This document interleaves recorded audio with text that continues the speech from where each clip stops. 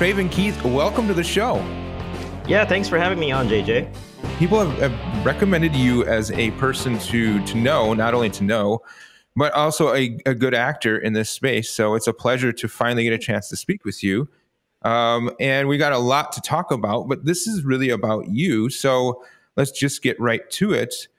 Uh, what's you know where where did you begin? You've been into this stuff for a long time. Where did where did things start when it came to crypto and Travin?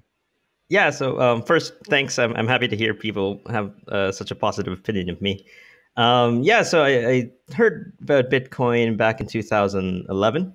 Um, I was working in tech support at the time uh, when I was in college, and a coworker of mine said, "Hey, Travin, you're you're in tech, you're in business. You should really look at this thing uh, called Bitcoin." And I asked him, "Oh, what is it?" And he says, "Oh, it's this thing. You know, the price is going to go up. Uh, it's this online currency that it stays there." And I said, "Well, what can I use it for?" And he says, "Oh, well, you can use it for Silk Road," um, and told me what Silk Road was about. Uh, and I was trying to immigrate into the United States at the time, so I said, "You know what? I'm I'm I'm just gonna stay away from this." I looked over at the screen and I saw the price of Bitcoin at around uh, three to four dollars, and I said, "Ah, you know, not for me." Kind of like a penny stock. Uh, fast forward two years later, in 2013, I was quite happy. Uh, I just got published on Search Engine Journal. I was working in web marketing at the time, so that was quite uh, something that I was happy about and I open Yahoo News and I see uh, Bitcoin hitting one thousand dollars, and I, I, yeah, I just like freak out. The first thing I do, my hands are shaking. I reach for my phone, and I call my my former coworker, and it goes to voicemail. I'm just saying like Aaron, but basically, yeah, I I, I realized okay, you know, for it to jump from three bucks to a thousand, there there must be something here that's uh, of substance. So I started reading into it a lot. I mean, there there wasn't a lot of uh, information readily available at the time, uh, as I'm sure you know. So yeah, I, I, started spending a lot more time into it. I dove into it. It was very difficult to acquire Bitcoin at the time. I wasn't too interested in using local Bitcoin because I wasn't really living in a very secure location at that time. So yeah, I actually had to buy Litecoin before buying Bitcoin, and so I used Litecoin to buy Bitcoin.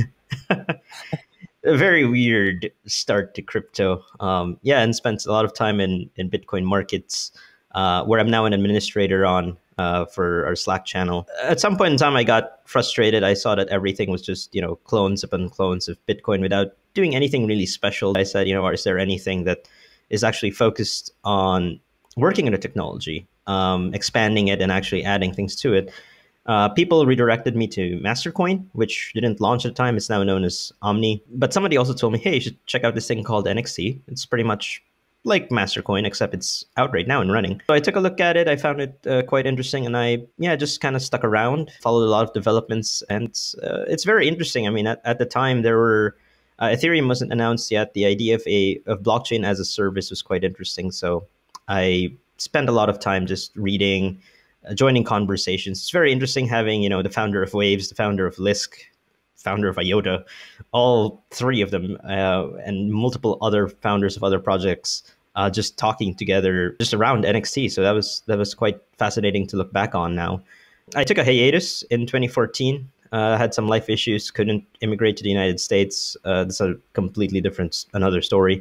Ran away to Fiji, actually.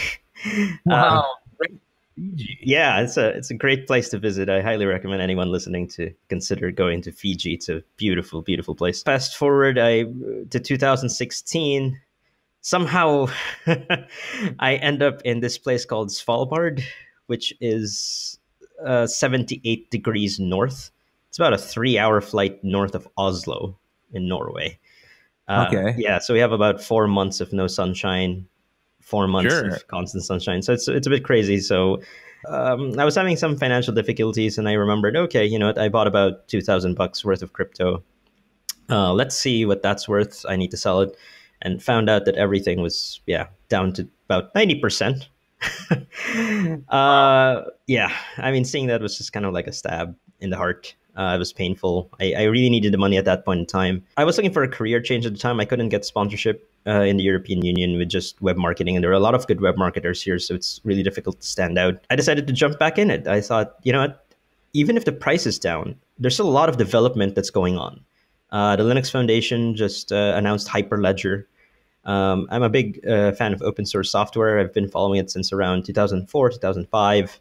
Um, so it was a very big, uh, good sign to me um, that the technology could take us indeed forward and that there is an opportunity here for me as well. Um, so yeah, I decided to do a career shift um, and jumped into cryptocurrencies and blockchain. Joined the NXT Foundation, got involved with Hyperledger.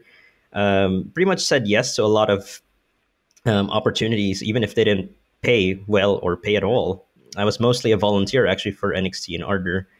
Uh, only started really getting paid uh, about six months in. I'm not the best person to ask about how to make money. I'm I'm really not. but uh, no, I, I, don't regret any of it at all. I learned quite a lot. Uh, that was worth more than you know to me any financial compensation to be able to understand everything. Uh, yeah, and eventually I I joined the, this company called SICOS. Um, the company provides some token sale advisory services. Hopefully Q1, Q2 next year about uh, this thing called Seed New, which will tokenize uh, profit participation tokens in a fully legal structure uh, just within the European Union starting off.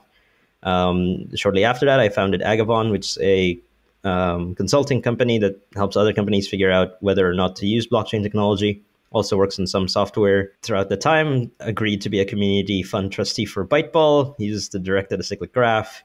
Uh, became an advisor for Smart Cash, which is a merchant-focused uh, and community-oriented cryptocurrency. Seventy percent of all the block rewards uh, go to community-funded projects. Still keep uh, close tabs on NXT and Ardor. Still very much a part of the community. Uh, before I fully stepped down as a member, a board member of the NXT Foundation, um, I launched this thing called the Ardor and NXT Group, sort of like the Enterprise Ethereum Alliance, uh, but for Ardor and NXT, and also a bit more um, engagement with the community.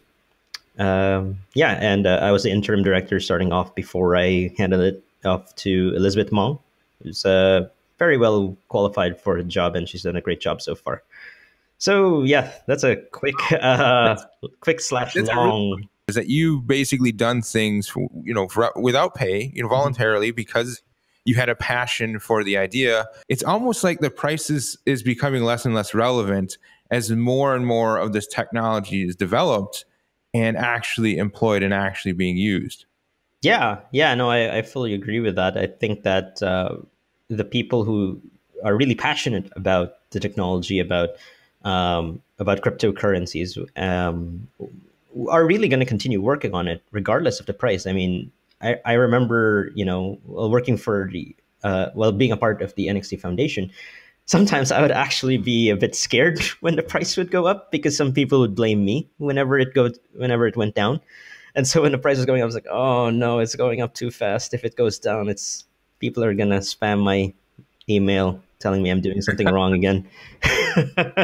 the uh, SICOS. Let's talk about that mm. for a moment. SICOS helped uh, Jelurida uh, with the ICO. Right. Um, as did my company Agavon. Yeah, I, I joined them when I met uh, the CEO Arnab uh, Naskar at the Block Show convention, uh, Block Show Europe uh, by Cointelegraph uh, in April last year. Started becoming more actively involved uh, late last year after I moved out of Svalbard and moved here to Prague, uh, where I'm currently in right now for the next few months at least before I move to Switzerland.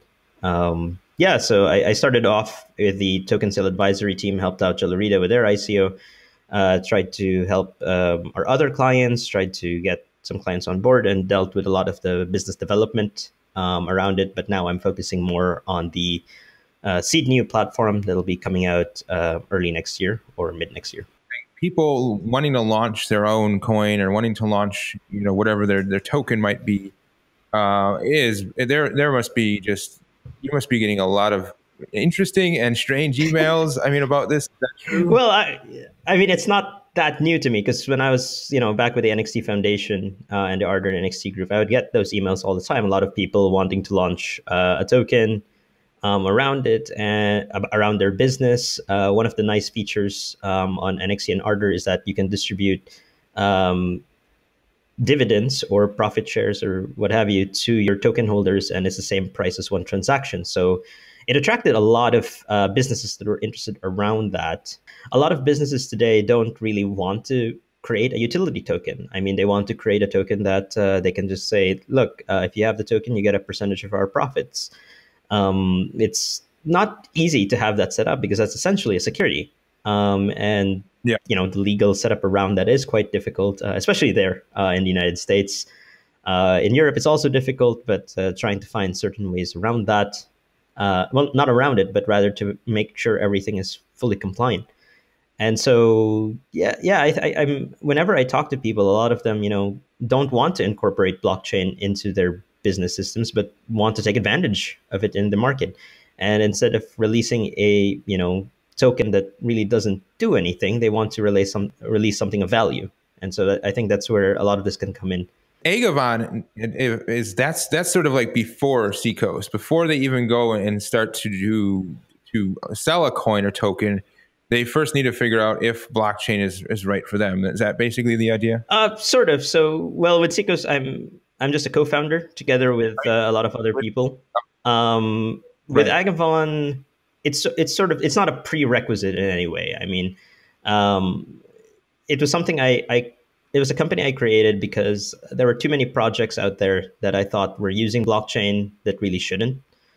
I, am not going to mention any projects specifically, but there are, there are a few out there uh, that we're seeing that and that we have seen um, that maybe you know aren't running anymore that shouldn't be using blockchain or you know block it's maybe they're overreaching blockchain like uh, it blockchain is a great thing to address a certain need and it is the most viable solution for that need but they're overreaching it uh, and at some point in time it'll it'll bite back at them because you know they won't be as efficient as they would have been otherwise. Are you based out of a certain location with this, or are you just sort of traveling around I the world? Travel quite a lot. Uh, I mean, right now I'm based in Prague, but the company is based in Zug, Switzerland. Uh, I'll be moving there hopefully in the next few months. Um, just working out some visa things at the moment. Uh, hopefully, I'll be based there, but I don't expect to stop traveling anytime soon. Uh, so what's what's next for you? What are you looking forward to coming up in the future? And uh, like, what's what's the future for for Travin? Uh, well, I've had a lot of um, ups and downs. So I don't think actually that too much into the future now. Um, I'd like Agavon to grow. Uh, I'd like it. I'd like to get uh, more clients on. I hope that uh, the seed new platform of SICOS grows really well. Um, I hope that the blockchain platforms that I'm working on I mean, that I'm working with, uh, Smart Cash, Byteball. Uh, well, that one's a direct acyclic graph, and of course the NXT and Ardor uh, ecosystem continues to grow. I'm definitely still an active member of the community there. So yeah, I guess I, what I'm saying is I'm going to continue being involved in all of those. I'm also very much involved with Hyperledger. Uh, actually, I'm one of the co-authors of their of the white paper, not the one that that got published late last year, the one that's that we've still been writing for about a year and three months now that hopefully will be done in the next few months. But that's what we said about half a year ago. um, so all over the place. I mean, I have to, I, I actually do have to do quite a lot um, because it keeps things interesting. I'm, I get bored really easily. So I need to have a lot of different things going on at the same time, but not too much. And I, I like to make them all, you know, connect in some way. Well, thank you so much for taking this time to talk to me, and I look forward to uh, having you on again. Yeah, thanks for having me on.